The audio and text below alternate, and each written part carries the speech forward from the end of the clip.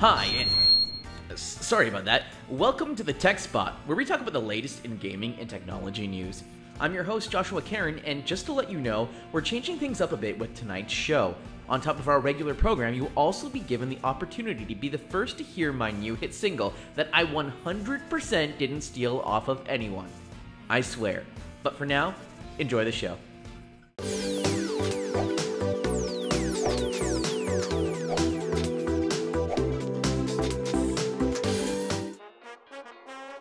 East Coast was hit by a major snowstorm this past week, leaving many people desperate and vulnerable.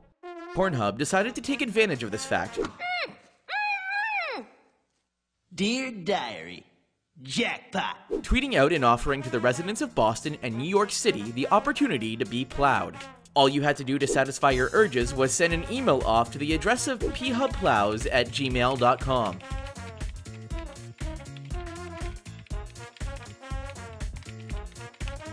Pornhub also made efforts this week to save pandas by reaching out to their consumers requesting that they watch and upload panda porn. I just had sex, and it felt so good. For every video uploaded, Pornhub says it will donate $100 to panda conservation efforts, as well as 1 cent for every view of videos in the panda style category.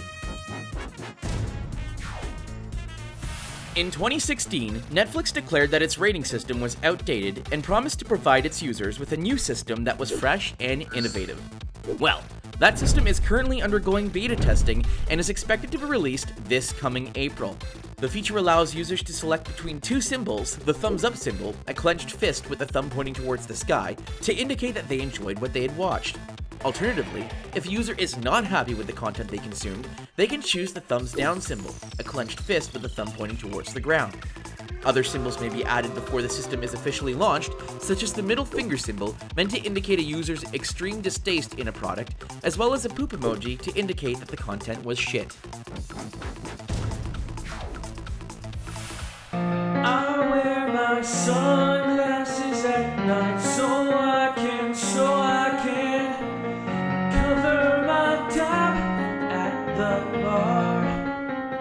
Yeah. You heard me right, folks. Visa announced earlier this week that it is testing out the idea of a preloaded contactless payment method via your sunglasses. Trying to get our attention. I don't know. But he just got mine. It is recommended that you take the sunglasses off when attempting to make a purchase, but we all know that bashing our heads into debit machines will be the preferred method of payment. Your move, Snapchat.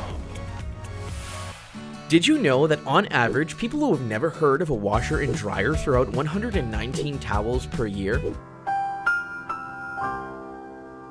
One company has invented the solution to their problems. Whoosh is a dryer for your towels that is easy to install and fits on most towel hangers. It dries towels quickly, as demonstrated by this side-by-side comparison. Notice how the towel without Whoosh is not moving. That's because there are no fans. The towel using the Whoosh is dried in minutes, although it's hard to tell by the video. If only there was a better way to demonstrate this. Got my hands right there and I am squeezing. The Whoosh is currently looking to raise 53,000 US dollars on Kickstarter, so if this seems like something you could use, go check it out. Well, that's all the time we have for this week. I'd stay longer, but they need me on set in 5. If you like this video, give it a thumbs up. If you're new to the channel, don't forget to subscribe. But for now, I'm Joshua Karen, and this has been The Tech Spot.